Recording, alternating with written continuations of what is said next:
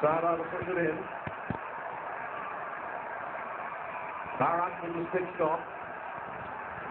And Sandeep will be there for the drag flick. And he puts it away!